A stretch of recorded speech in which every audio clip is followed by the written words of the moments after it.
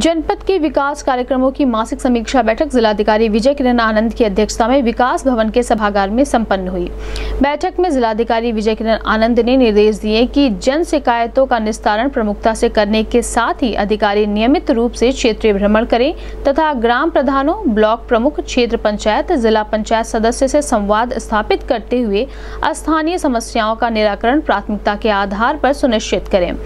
उन्होंने कहा कि कौशल विकास मिशन में अपेक्षित प्रगति न पाए जाने तथा बैठक में अनुपस्थित होने के कारण जिलाधिकारी ने प्रधानाचार्य आईटीआई का वेतन रोकने के निर्देश दिए।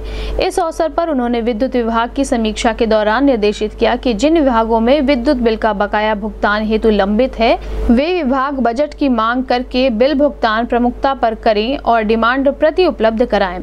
निवेश मित्र पोर्टल के दो मामले जल निगम में लंबित पाए जाने पर जिलाधिकारी ने कहा कि मामलों का निस्तारण प्रमुखता से किया जाए। जिलाधिकारी ने लोक निर्माण विभाग को निर्देशित किया कि गड्ढा मुक्त सड़कों का कार्य योजना तत्काल प्रभाव से उपलब्ध कराया जाए। जिलाधिकारी ने कहा कि पीएम किसान सम्मान निधि योजना, मनेरेगा, मिड डे मील, आवास आदि का सोशल ऑडिट कराया जाए और इसमें सौ अधिकारियों को लगाया जाएगा तथा इनका प्रशिक्षण भी कराया जाए। उन्होंने कहा कि वरासत के मामलों को एक अभियान के तहत निस्तारित किया जाए। जिलाधिकारी ने यह भी निर्देश दिए कि बाढ़ से जिन विभागों की संपत्तियाँ क्षतिग्रस्त हुई हैं, उनका प्रस्ताव प्रस्तुत करें ताकि प्रस्ताव शासन को प्रेषित किया जा सके। पोषण मिशन की समीक्षा के दौरान जिलाधिकारी ने कहा कि इसका एक कार्यशाला भी आयोजित किया जाए, क्योंकि कुपोषण एक बड़ी समस्या है। बैठक में मुख्य विकास अधिकारी इंद्रजीत सिंह सहित विभिन्न विभागों के अधिकारी मौजूद रहे।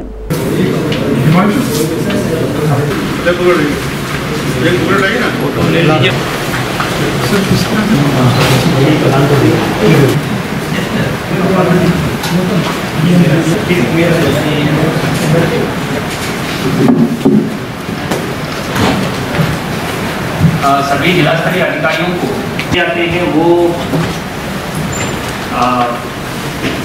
मैं बैठता हूँ, तभी भी मुझे एहसास होता है कि अपने कार्यालय की व्यवस्था, कार्य विभाजन से लेकर क्षेत्र बंटवारे से लेकर नियमित समीक्षा प्रति सप्ताह जो होना है, वो बहुत कम हो रहा है।